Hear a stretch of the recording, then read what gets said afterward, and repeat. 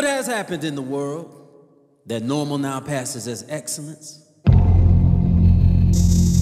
Yesterday. When did we lower our standards? Yesterday. We are living in an environment where people are blind.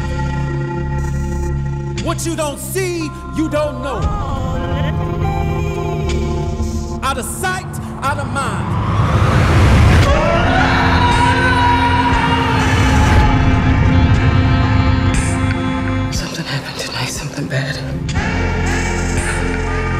Our husbands aren't coming back.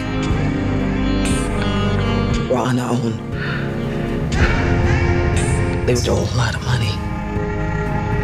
And now people want it from us. Now, the best thing we have going for us is being who we are. Why? Because no one thinks we have the balls to pull this off.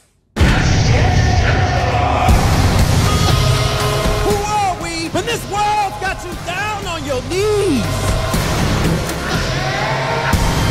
If this whole thing goes wrong, I want my kids to know that I didn't just sit there and take it.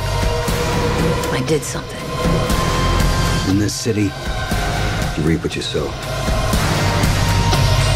Let's hope so.